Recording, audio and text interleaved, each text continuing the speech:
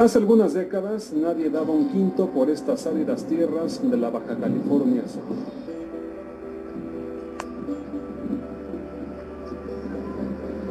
Con el boom turístico, ahora se cotizan en millones de dólares, lo que ha provocado la aparición de una red dedicada al despojo de tierras. El araña que se ha tejido a través de los registros públicos de las propiedades municipales, en donde realizan en contubernio con notarios este tipo de movimientos.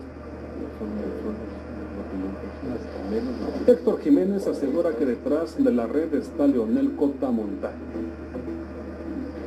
Se ha destacado Leonel Cota Montaño, el primo hoy gobernador Marciso Agúndez Montaño, eh, y toda esa familia se han dedicado a acaparar predios en zonas de playas eh, a un precio irrisorio, tratando a muchos de los ejidatarios de despojarlos a través de una estructura gubernamental. Hace algunos meses aparecieron estos anuncios en páginas de bienes raíces. Ofertaban un predio denominado Llanos del Gallito, 800 hectáreas localizadas en Mulegé, Baja California Sur. Un amigo me habló de La Paz y me dice, oiga, don Mario, está su terreno a la venta. ¿Qué terreno? Pues el de allá, de allá. No le dijo, de ninguna manera, nunca está. Ah, pues están anunciando en internet. Mario Fernández, dueño del terreno desde hace 50 años, descubrió que fueron alterados documentos oficiales en las oficinas municipales del registro público de la propiedad, de catastro y de asentamientos humanos. Lo hicieron para crear una nueva escritura con la que trataron de vender indebidamente su territorio. Julia Flores fue una de las autoridades municipales que alteró documentos oficiales. Nadie quiso despojar a nadie. No se puede como quieren venir. Nos podemos equivocar, que somos humanos. El presunto intento de fraude fue operado por Javier Cota Cota, quien aparece en la escritura duplicada como apoderado legal de los que se prestaron para maquinar la farsa. El actual diputado local, Guillermo Santillán Mesa, es el notario público de Mulegé que hizo la escritura que el señor Fernández califica de falsa. Esto no Esto, pues la ley lo llama delincuencia organizada.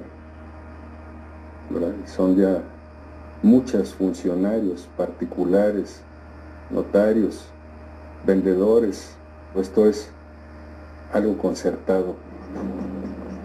Después del escándalo, Guillermo Santillán reconoció que cometió un error al hacer la escritura. O yo lo puedo haber equivocado, no soy, pero ya porque me equivoqué yo soy un mal ¿no? Negó ser parte de una red dedicada al despojo de tierras encabezada por Leonel Cotamontaño. Y Leonel le digo, pues lo conozco, fue gobernador, yo trabajé en su gabinete, sí, pero no, no, no a ese, nunca para eso. Héctor Jiménez asegura que Llanos del Gallito es solo un ejemplo del sinnúmero de atropellos que se están cometiendo en contra de los propietarios legítimos de tierras en Baja California Sur. Es toda una mafia que se ha tejido en Baja California Sur con el propósito de despojar a muchas familias californianas. René Pinal asegura que es otra víctima.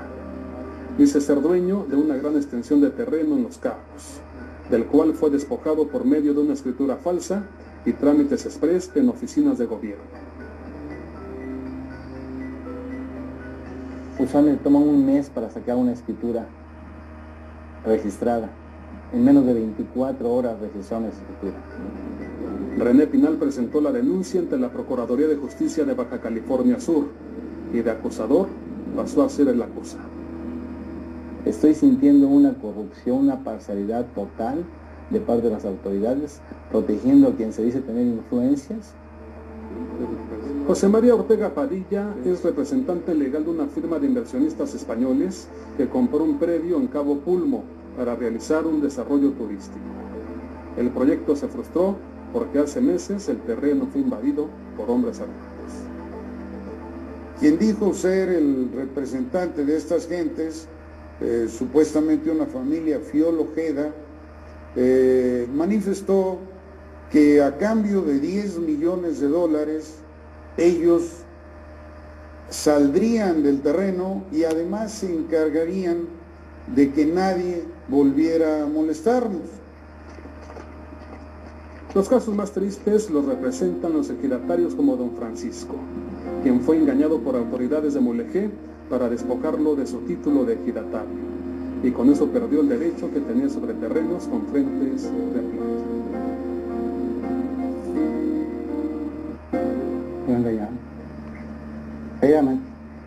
Es que no hay leer, pues, ni escribir, ni nada.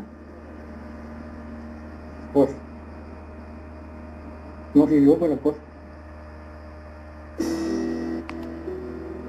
Los denunciantes aseguran que cada vez son más los fraudes y despojos de tierras, lo que ha desatado un clima de incertidumbre jurídica en Baja California Sur.